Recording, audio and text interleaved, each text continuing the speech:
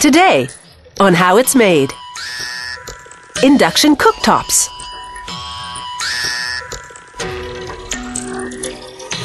Truck scales. Tetra Pak containers. And harmonicas.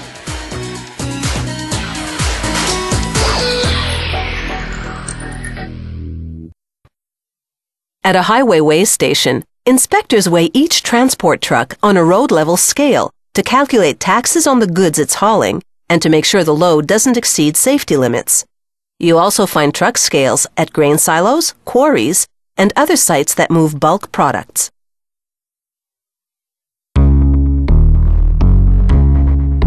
The key to this enormous scale is a tiny component called a strain gauge, which sends signals to the scale's computer when compressed.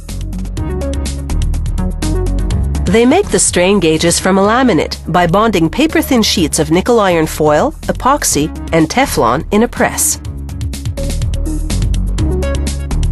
Then they coat the laminate in a light-sensitive chemical and apply a plastic film with an image of strain gauges in negative format. Then they expose the setup to ultraviolet light.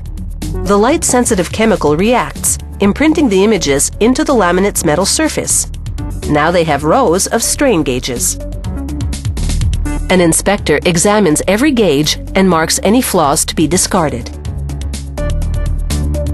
Now a technician measures how much voltage flows through each gauge. If it's too low, she raises it by rubbing off a microscopic amount of surface metal. When the strain gauges are finished, they cut them apart and send them to the load cell department. There, workers delicately tape four strain gauges into each stainless steel load cell. Then they solder electrical wiring to each one. The wires all run to a circuit board at one end of the load cell. And from the load cell, wiring runs to the scale's computer readout. The smallest amount of moisture or dirt would cause a strain gauge to malfunction, so they weld a cup over each one to hermetically seal it within the load cell. Every finished load cell undergoes a quality control check to verify that it works properly. The testing machine applies weight in increments until it hits the maximum weight the cell can bear, 34,000 kilograms or 75,000 pounds. The truck scale structure in which they'll install the load cells is called the weigh bridge. They begin assembling it upside down with a surface made of steel plates. To build the base of the weigh bridge, they lay out a grid of thick steel tubes and crossbeams. Workers lower a guide to help them align the parts perfectly. Beneath each load cell is a pin.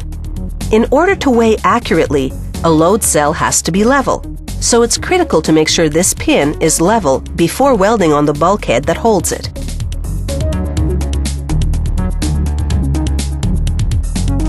Once fully welded, the weigh bridge is assembled and ready for painting. The paint equipment laces the powdered paint with a positive electrical charge and the weigh bridge with a negative one. This evenly draws the paint particles onto the steel like a magnet. In another department, they assemble the steel stand on which the load cell will sit. A welder tacks the pieces together. Then a robot does the full welding.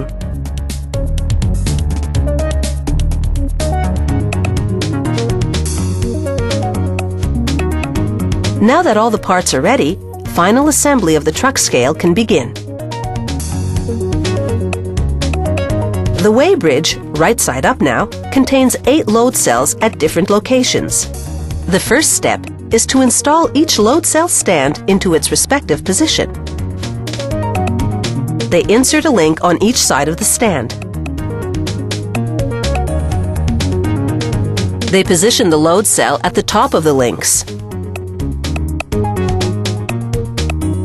and the bulkhead pin at the bottom.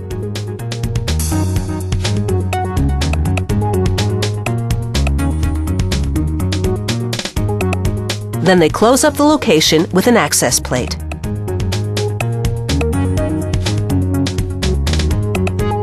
The last step is to calibrate the scale.